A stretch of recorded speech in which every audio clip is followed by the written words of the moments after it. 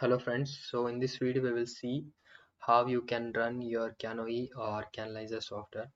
So you might have recently installed Canoe or CANalyzer but you are not getting from where you have to run the application as there is no shortcut created while installation.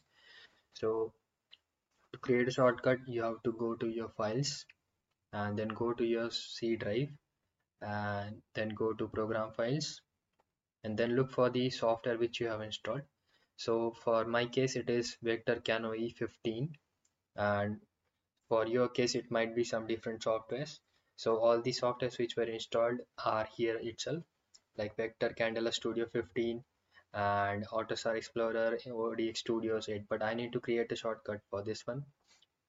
Vector canoe 15 so i'll go to vector canoe 15 and then as my machine is 64 bit machine so i'll go to x64 and then I need to look for the application of Canoe. So just scroll down till you find this Canoe tool. So here is the application for Canoe. So if you double click on this one, it will directly open the Canoe application. But as we have to create a shortcut, we'll just right click on it and we will send this to our desktop. So a shortcut will be created and you can easily start your application using this shortcut.